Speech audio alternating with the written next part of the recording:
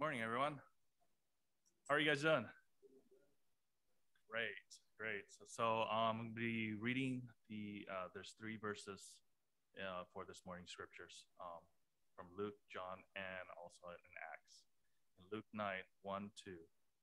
And he called the 12, to, the 12 together and gave them power and authority over all demons and to cure diseases. And he sent them out to proclaim the kingdom of God and to heal.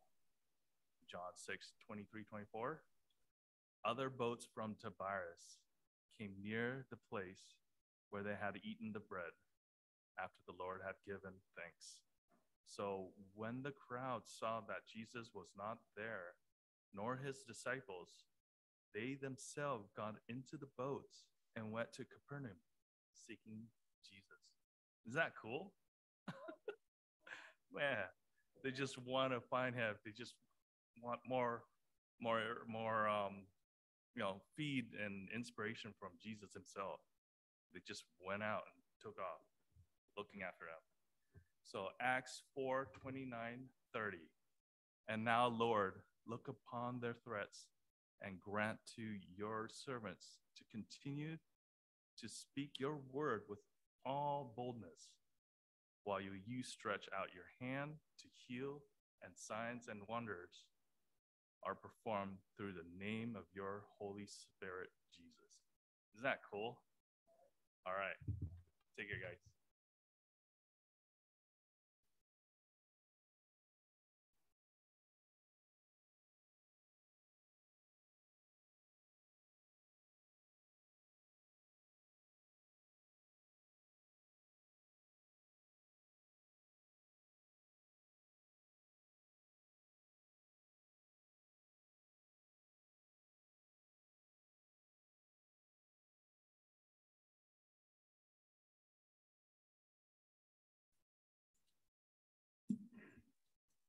It has been a while. I don't play for Sharon, and she doesn't sing when I play. But today we will sing this, sing and play this beautiful uh, music called My Tribute.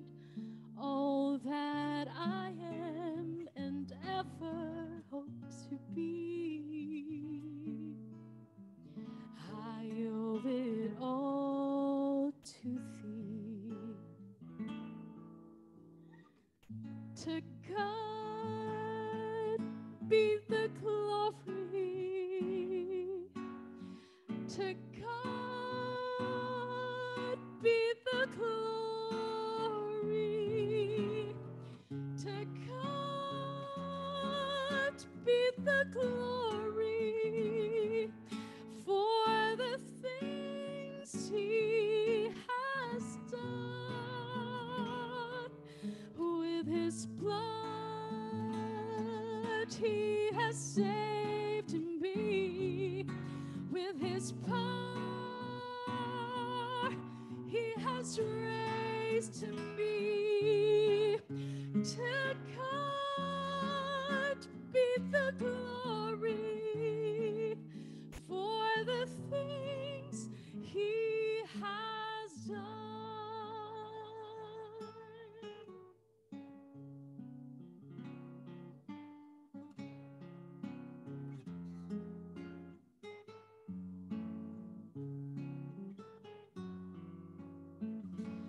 And if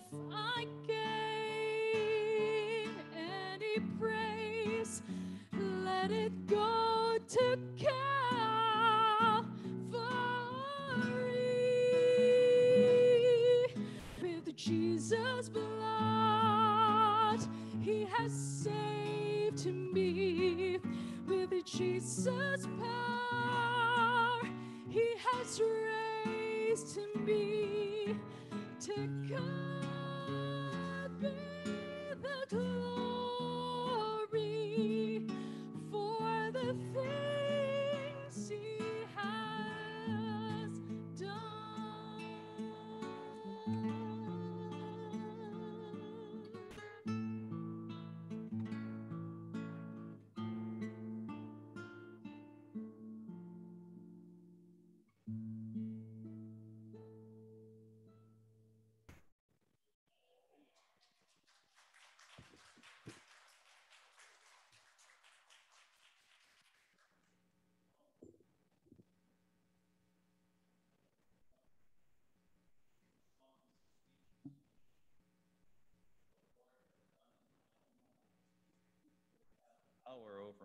they? Don't they have power over you too? I listened to the tribute, and I wanted to say thank you, Sharon. Thank you, Rodrigo. Wow. The Lord has done great things in my life. I know what it's like to be without Him, and that in comparison to be with Him, it's transformative.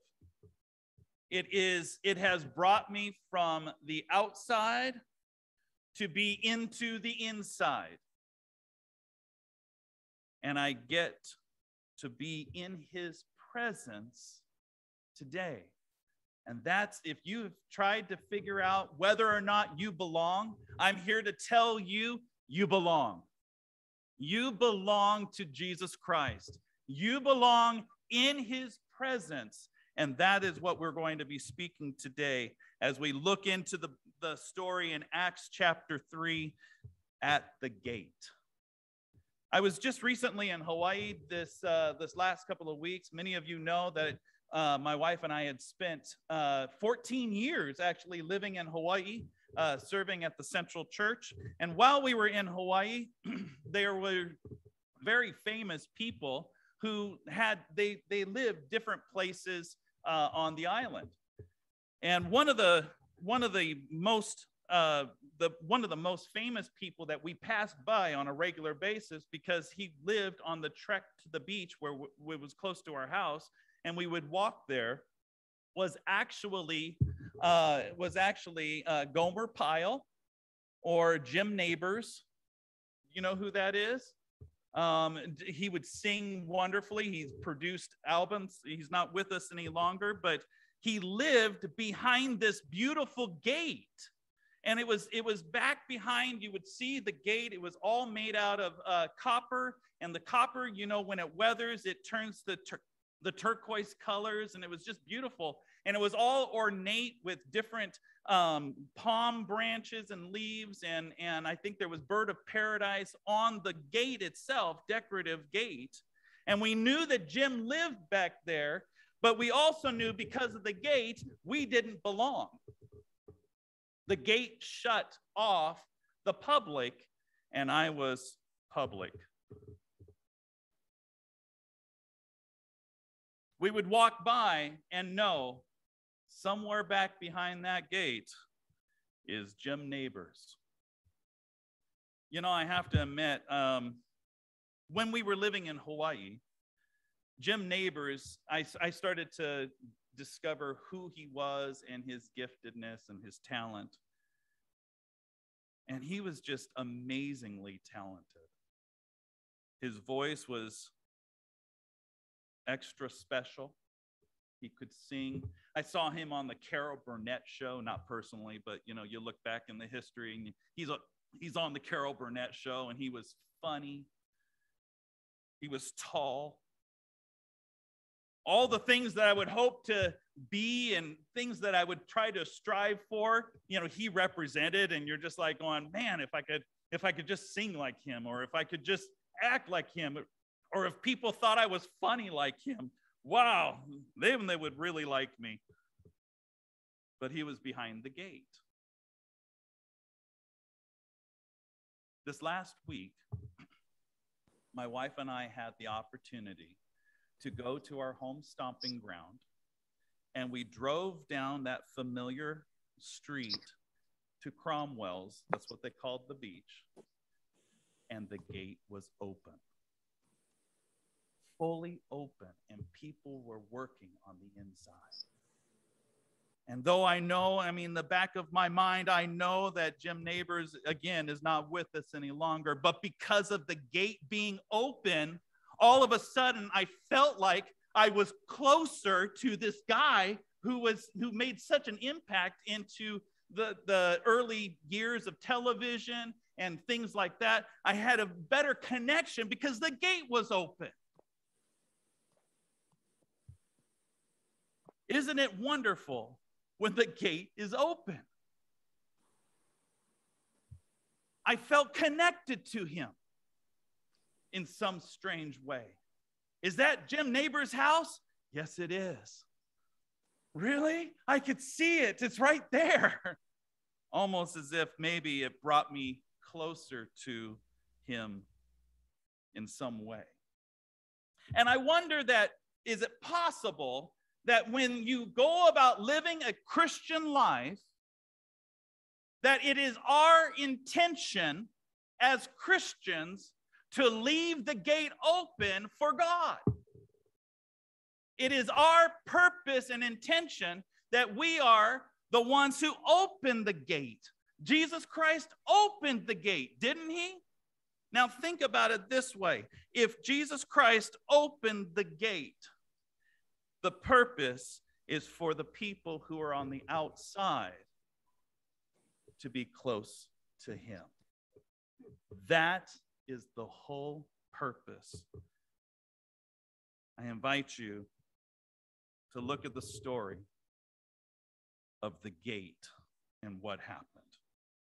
Peter and John had just experienced the outpouring of the Holy Spirit, the, the tsunami that happened on the inside of the upper room, and 3,000 people were baptized that very day. Many of you were here when we were preaching that just a couple of weeks ago. And all of a sudden, the entire church was, was transformed to being giving and to being uh, connected to one another. And they were devoted to one another and they, they loved one another in a way that they had never experienced church to be like. And Peter and John, the two leaders at this time, they decided that it was time for them to go to the temple to pray. It's about three o'clock in the afternoon. And as they're walking along, they're talking about the different things that God was doing in their life. The power of the Holy Spirit that just permeated their entire conversation. Everything that they talked about was what is God going to do? I feel this, this intense passion that belongs to Christ for others. And so, as they're walking to the temple, they get up to the gate, the beautiful gate, and they see this man who has been crippled since he was born. Scripture says he's been crippled for 40 years, 40 years without the ability to walk. Now, I'm going to let you know that without having the ability to walk, there are certain things that happened as a result. For 40 years, the man couldn't work and earn a living. For 40 years, the man couldn't go and worship. For 40 years, he was an outcast on the outside. And for 40 years, or at least at the age of ascension, he was put outside the gate beautiful so that he could beg for money. Many of you are familiar what that, that feeling is like. I don't know if you've ever been aware, but has that ever happened to you where you're driving your car and you see the man with the cardboard sign or the woman with the cardboard sign and they are sitting in the middle of the intersection and you're driving up and literally the light turns red and you get caught right there and you know he's right there. He's got the cardboard sign and he's facing at you. We'll work for food. Donations accepted. I don't know, whatever the card might read on his sign. And I know, I know it happens to me. I know it happens to you. You got the 10 and 2 with your hand positions, and you're looking down and you're trying to busy yourself because he, you know, he's staring at you.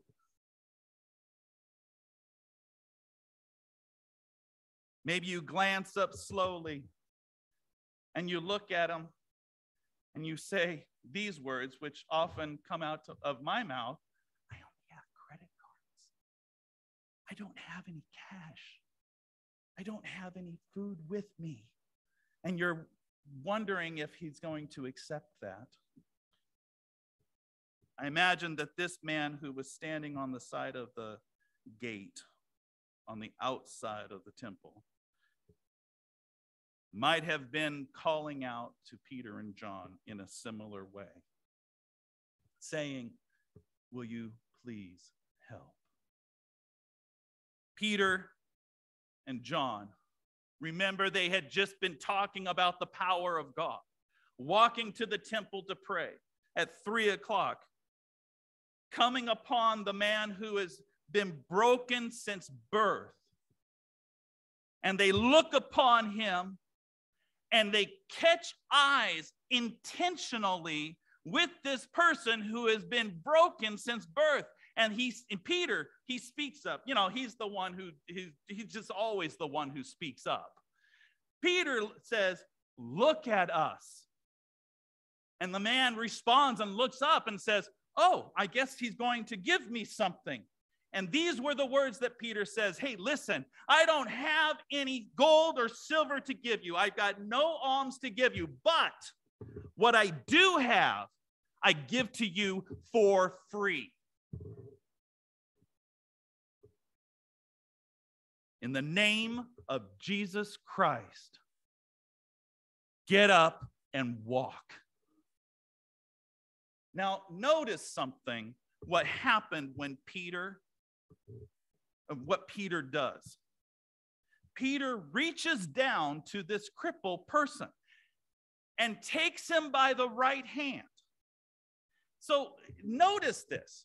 I have never reached out to somebody who I have said, Hey, you and your infirmities have been healed. But Peter, knowing the power of the Holy Spirit, reaches down with intention that the Holy Spirit was going to raise this man up, takes him by the right hand and pulls him to his feet. And the scripture says, immediately his legs were restored in full health and capacity.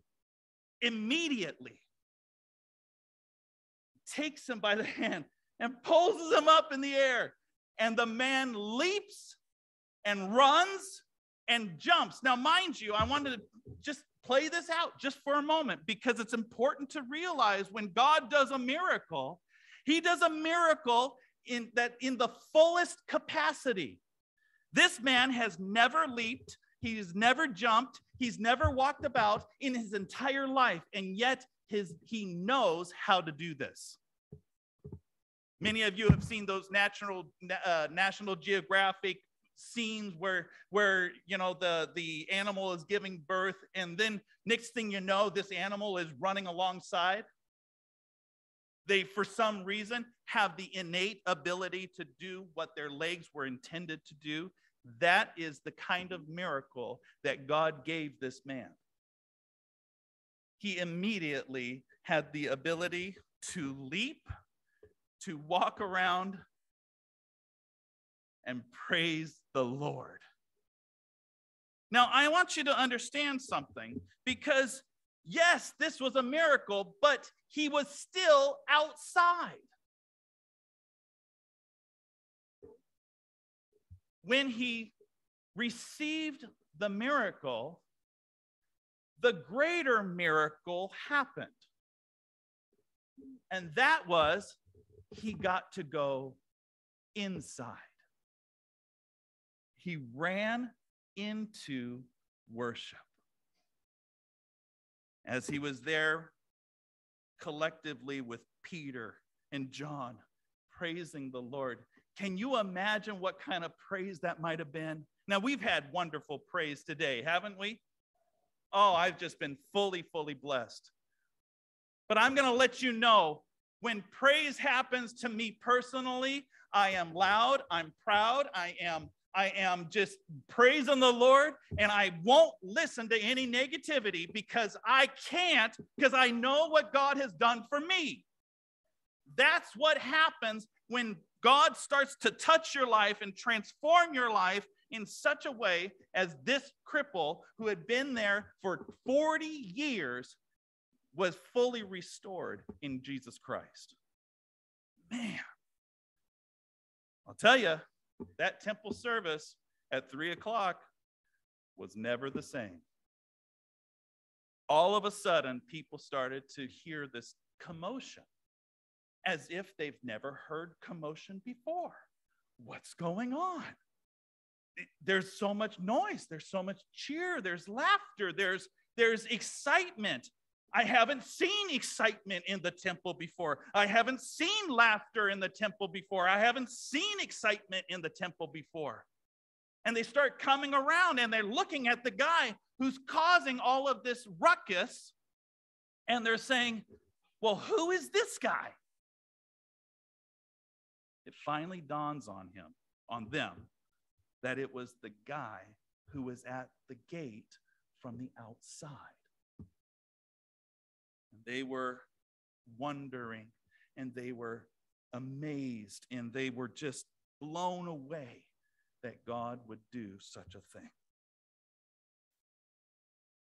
Well, I'm going to let you know not everyone appreciated the miracle. Not everybody thought that this was a good thing.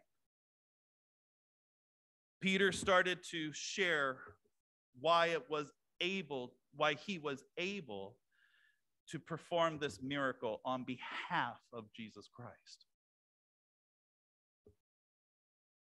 And the religious folks who had already rejected Jesus demanded that they first be put into prison and then brought before court. This is the story that we are going to look at. And the reason why we're going to look at this story is because I believe wholeheartedly that God wants to do something amazing in every single one of his churches. God wants to perform miracles in every single one of his churches today. Now, here's the reality is that when you start to think about how God is going to go about doing some miracles, I'm going to let you know that when God starts doing miracles in his churches, things start getting exciting. Things start running around, things start leaping. It looks a little Pentecostal.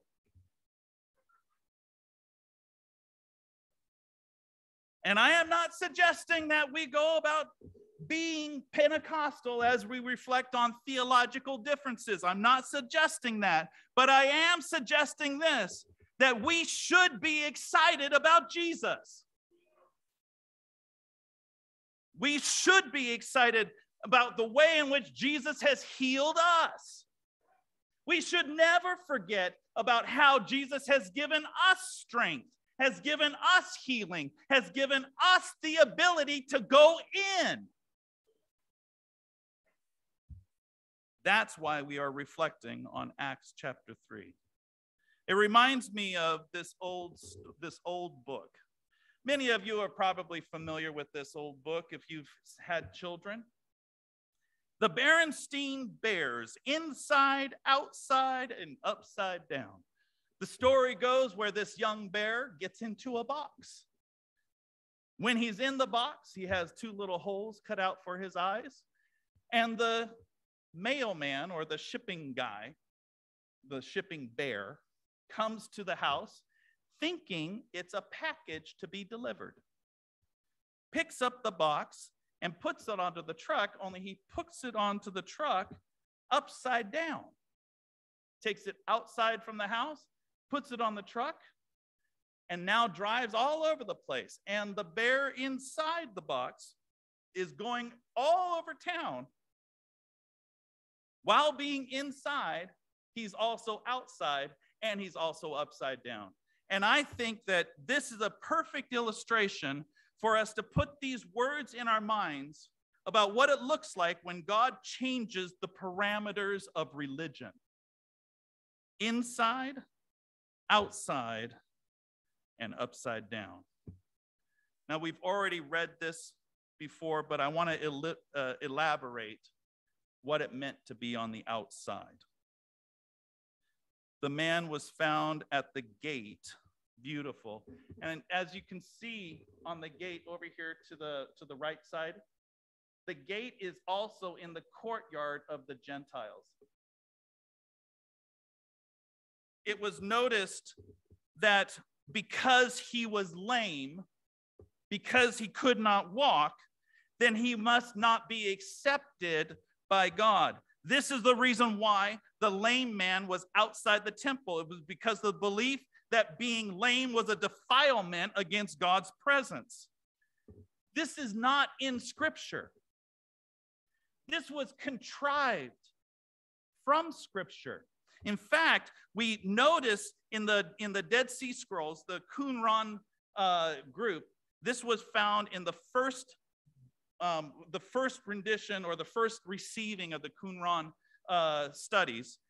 And this is what it says No man smitten with any human uncleanness shall enter the assembly of God. No man smitten with any of them shall be confirmed in his office in the congregation. No man smitten in his flesh or paralyzed in his feet or hands or lame or blind or deaf or dumb or smitten in the flesh with a visible blemish.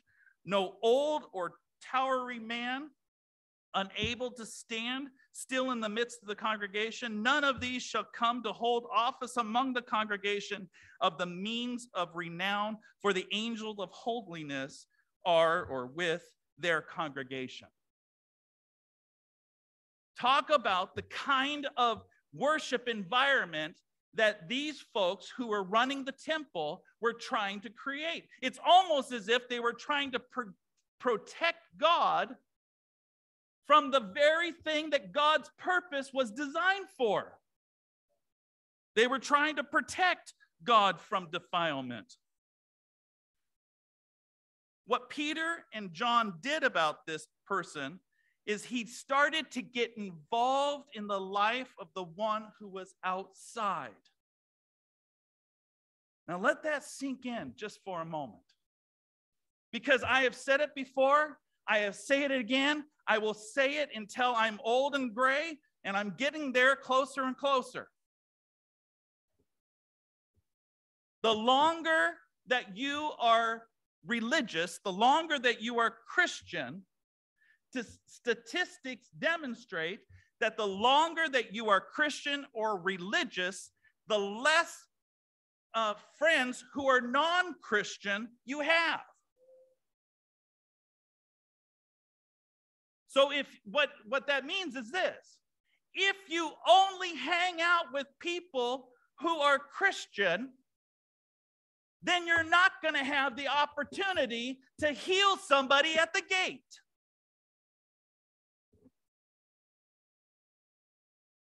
We need to be empowered by the Spirit to do what Peter and John did.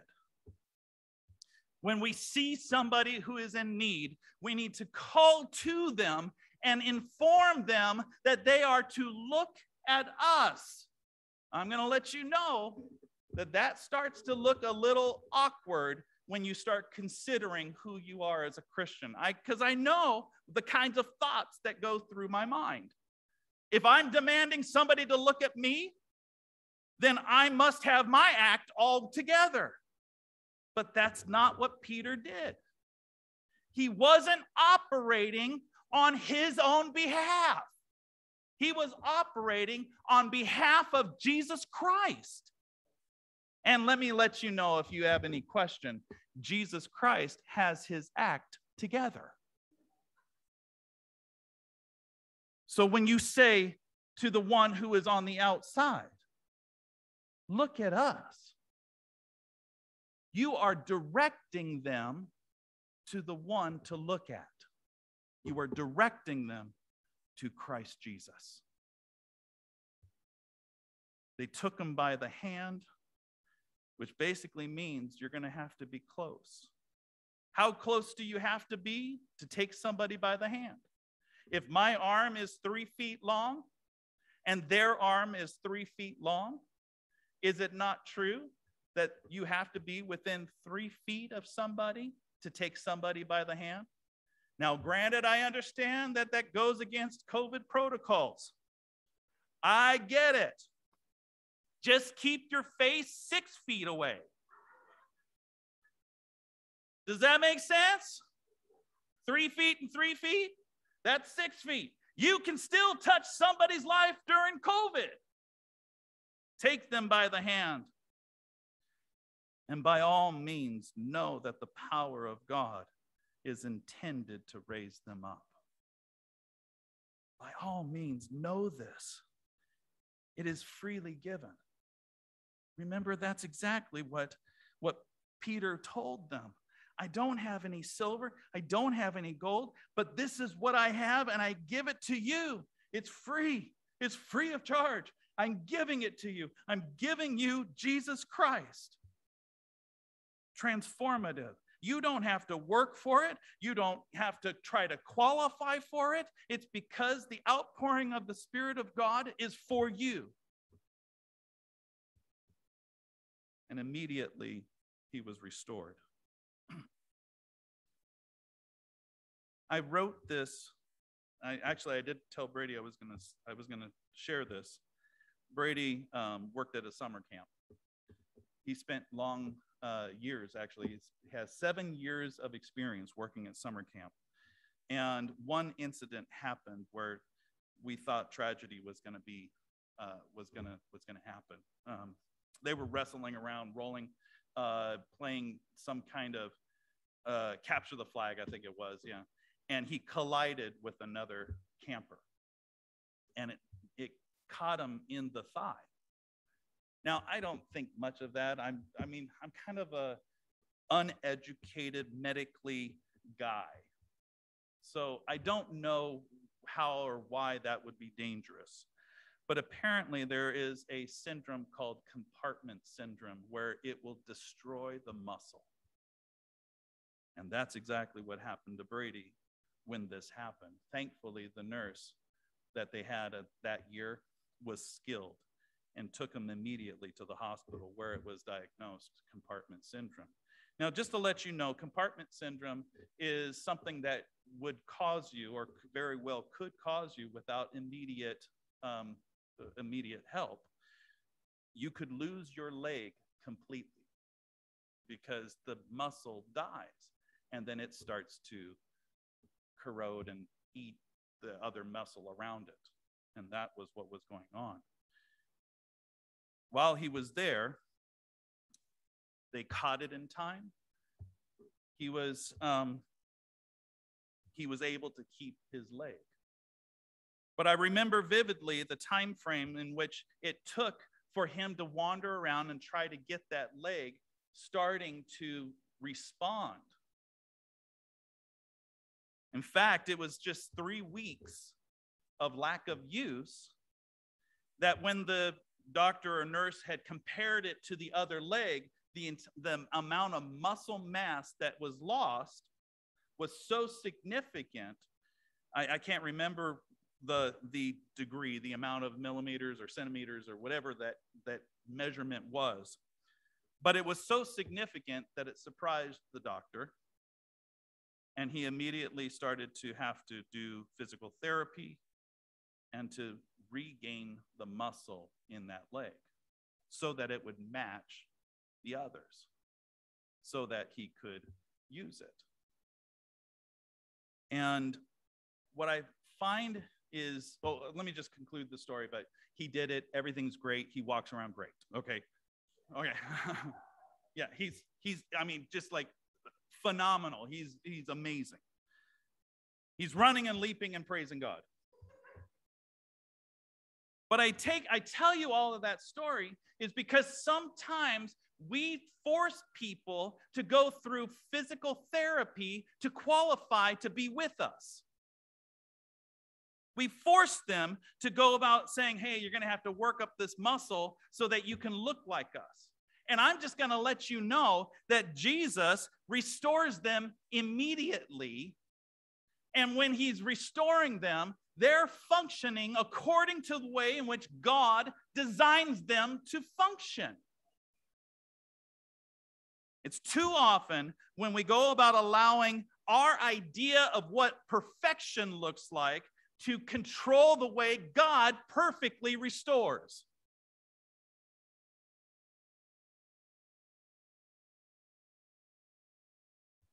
I'm letting somebody write that down because I didn't plan saying that. However wretched may be the specimens of humanity that men spurn and turn aside from, they are not too low, too wretched for the notice and love of God. Christ longs to have a careworn, weary, oppressed human beings come to him. He longs to give them the light and joy and peace that are found nowhere else.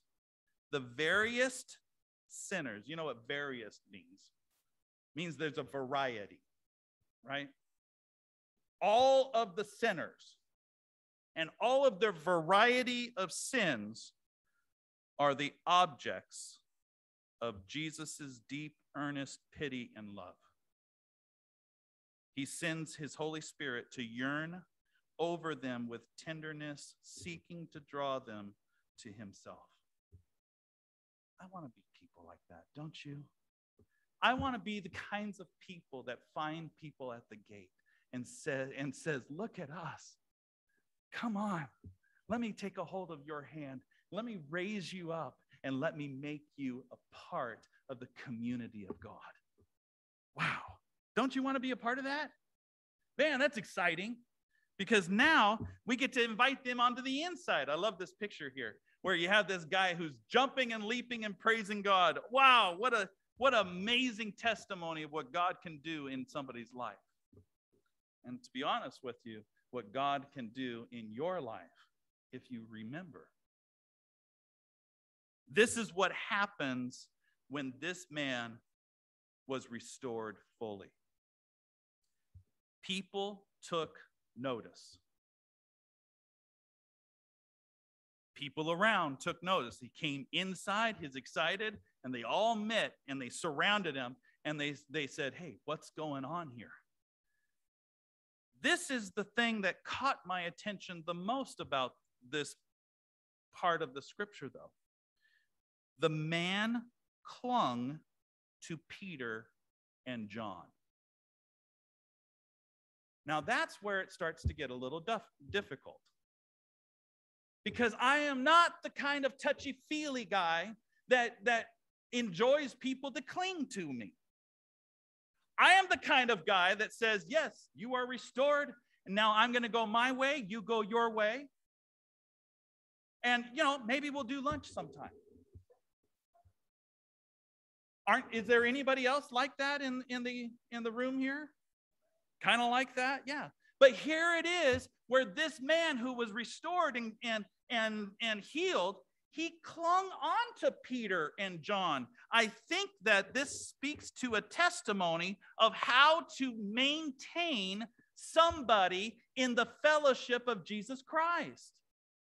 Is it possible that God calls us to do similarly and allow the healed one to cling to you? What kind of adjustments would that make in your life? Would it be that you maybe need to change your schedule a little bit? I'm going to tell you, I had a I had a young man when I was in Hawaii. Um, I had a young man who um, he he was on the spectrum, if you if you know what I mean. He um, he had a hard time socially, and he um, for some reason, he got to liking me. I don't know why. I didn't think I gave him anything to like. But for some reason, he started to like me. And he would call me up about five times a week. He would call me and he would say, Pastor, Pastor, I'm so angry. And I would say, Why are you angry? And he would say, Oh, the people, they don't treat me nicely. And he would have this entire list of why he was so angry. And I would pray for him. Very next day, Pastor, I'm so angry. I pray for him again. The very next day, it happened every single week, five days a week.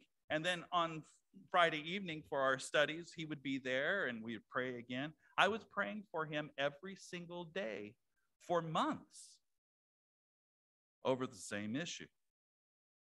And it tells me that when somebody clings to you, I need to make adjustments, don't I? I need to go about determining if the value of that person is worth the time of the investment. Does that make sense? And the only determination of, de- of, of how you can value that person is in the imagination of how Christ values that person. And so it's this, it's this um, mental transfer of value from what God has done on that person's behalf in the cross of Jesus Christ. And then I get to be the bearer of that cross for that person on behalf of Christ. It, it's this, Ellen says it this way Christ will impart to his messengers the same yearning love that he himself has in seeking for the lost. We are not merely to say, Come. That's where I kind of stop. You know, come to church, come to church. You know, come be a part of the family. Come, come, come, come. But all I am is a commercial. And let's face it, in today's society, people don't relate to commercials all that well. I have to admit that I look for opportunities to either delete commercials or fast forward through them.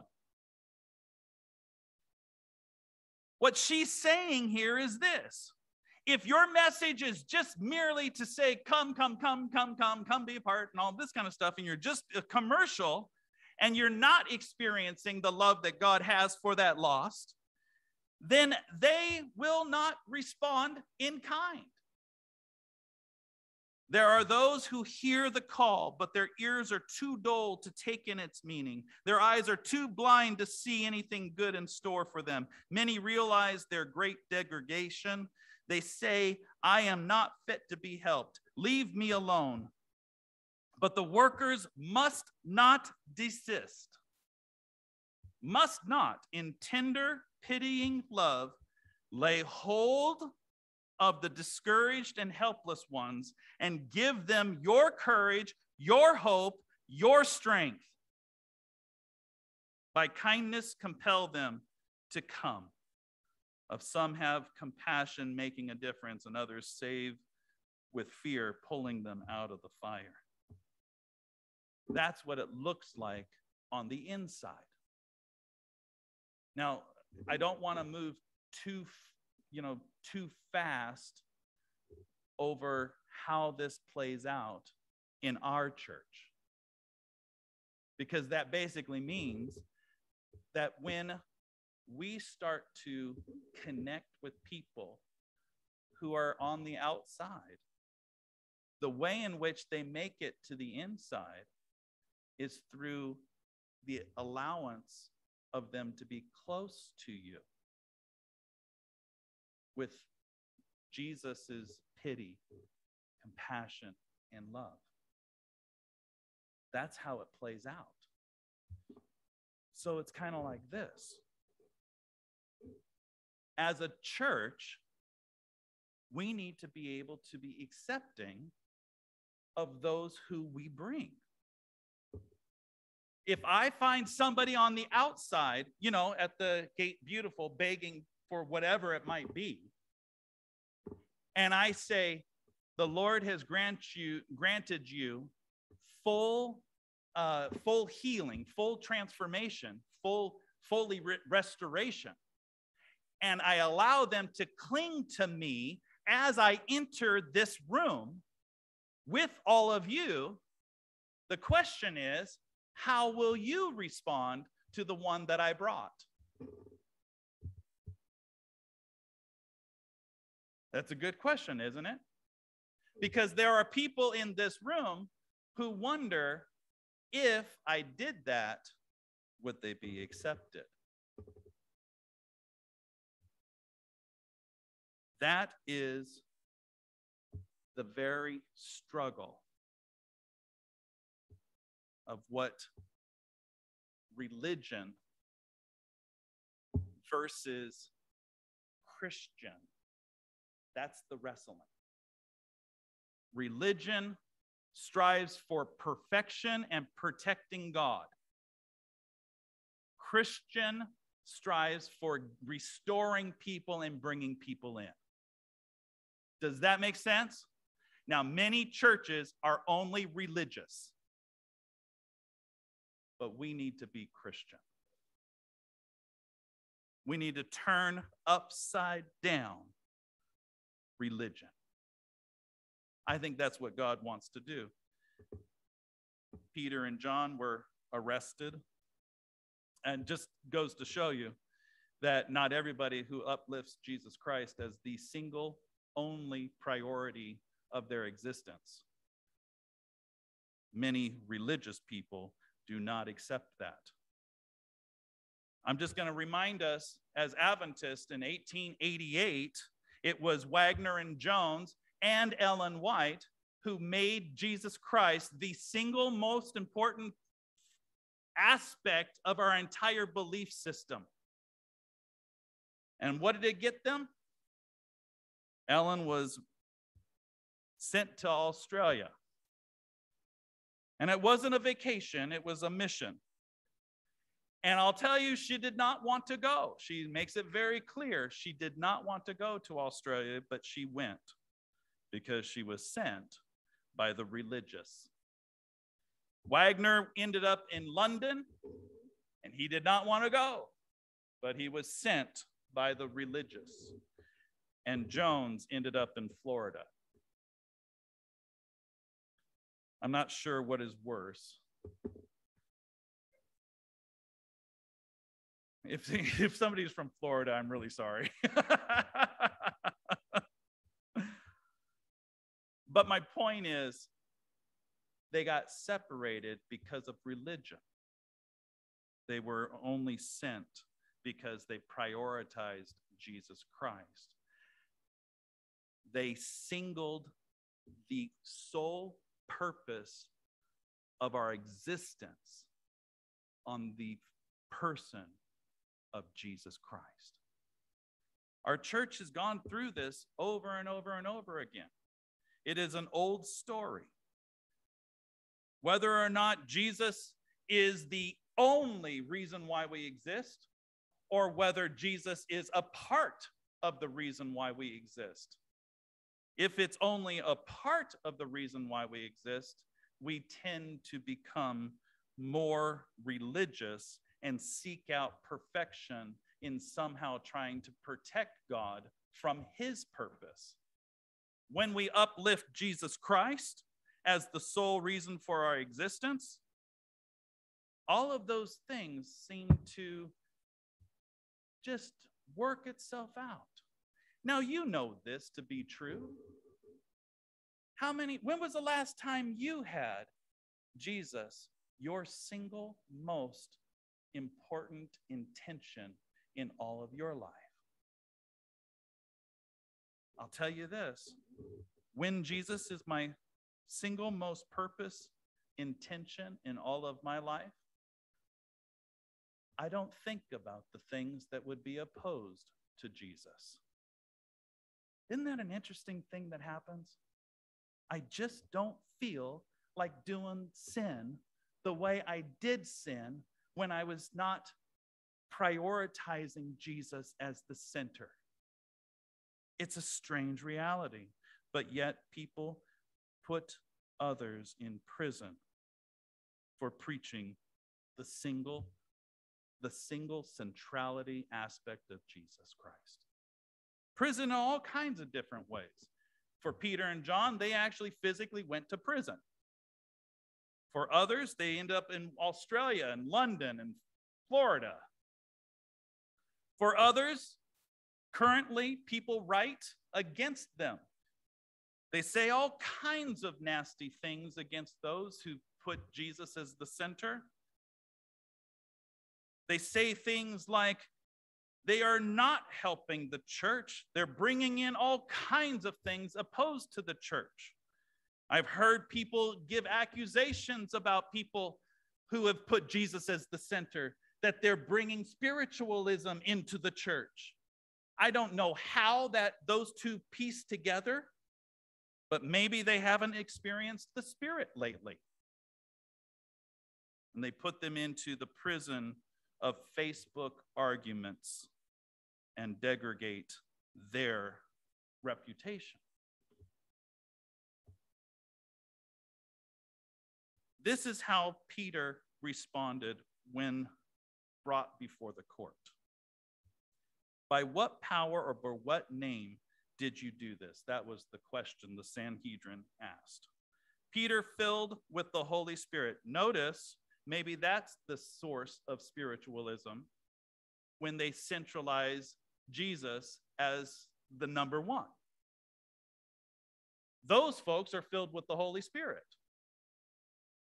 Peter, filled with the Holy Spirit, said to them, Rulers of the people of the el- and elders, if we are being examined today concerning a good deed done to a crippled man, by what means this man has been healed, let it be known to all of you and to all the people of Israel that by the name of Jesus Christ of Nazareth, whom you crucified, whom God raised from the dead, by him this man is standing before you well. This Jesus is the stone that, the, that was rejected by you, the builders, which has become the cornerstone, the very piece that holds it all together. That is Jesus. And there is salvation in no one else, for there is no other name under heaven given among men by which we must be saved. Amen. Christ's servants are to follow his example, and he went from place to place. He comforted the suffering, the healed the sick. Then he placed them before the great truths in regards to his kingdom. This is the work of his followers. As you relieve the sufferings of the body, you will find ways for ministering to the wants of the, of the soul. You will point to the uplifted Savior and tell of the love of the great physician who alone has the power to restore. This is the kind of man that I want to be. I want to be the kind of man where when I make Jesus Christ the center, the entire religious world gets turned upside down. And as a result, they start to take notice that I've been with Jesus. Because that's what happened here. When they saw the boldness of Peter and John and perceived that they were uneducated common men, they were astounded and they recognized that they had been with Jesus. Okay. So let's let's make sense of all of this.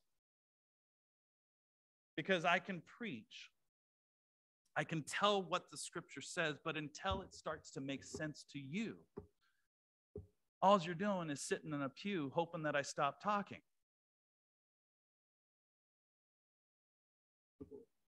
I'm going to give you an assignment. Now, when you take the assignment, God's going to be with you and He's going to do some amazing things. Because there are people on the outside of the gate. There are people there, and you already know them. You know who's out there. I want you to go to them And I want you to tell them that they're restored in Jesus Christ fully and completely, and that they, they don't have to jump through some crazy physical therapy hoops to qualify to, to be included. I want you to do that. Can you do that? Now, what happens is this I want you to bring them to church. Okay? When you when you find somebody, I want you to bring them in. And let's just all covenant to one another. We are not going to tear down anyone. Because anyone walking through the door has been touched by Jesus Christ. Does that make sense? Therefore, we are bringing people because they are wanting to be in the presence of God. Therefore, we need to be the presence of God. So when you see somebody coming who you're who you're thinking to yourself, "What? How did how did they Jesus loves them too? What?" Listen. Yeah. The cost the cost of the cross was so full, was so valued that even the most sinful sinner is accepted by God. Bring them, bring them here, bring them, and let's turn religion upside down so that people will know that it's all about Jesus Christ. People will know it. The success of the gospel message does not depend upon learned speeches, eloquent testimonies, or deep arguments. So don't try to be practiced in how you talk and how you testify and how you can argue somebody qualified. That's not where the gospel message is. It depends upon the simplicity of the message and its adaptation to the souls that are hungering for the bread of life. What shall I do to be saved? This is the want of those who are on the outside. Let's bring them in and let's turn religion upside down so that Christ can be lifted up.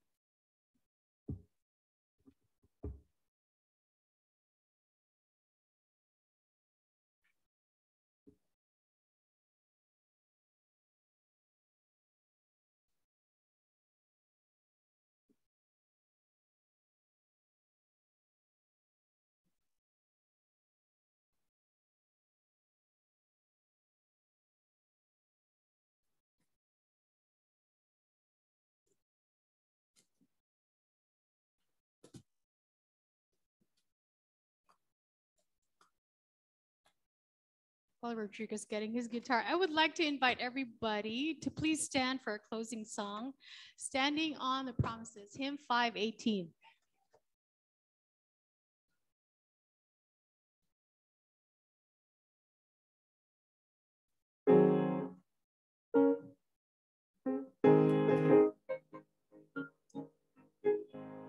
Let's all sing. Standing on the promises of Christ,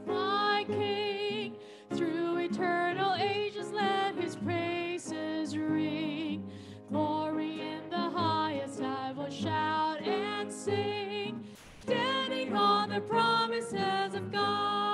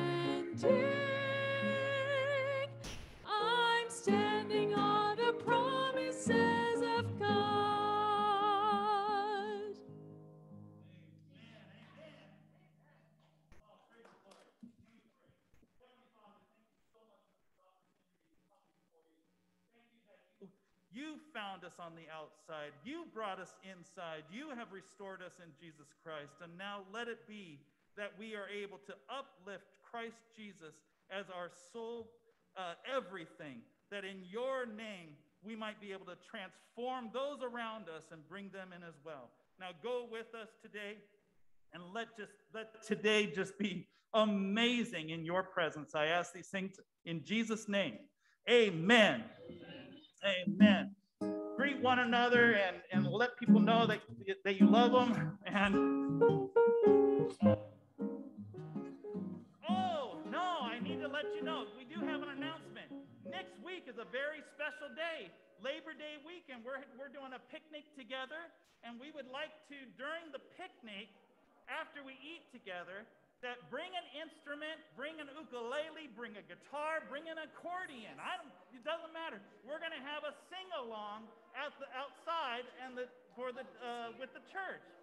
So let it be known next week we're eating together and we're singing together. Amen.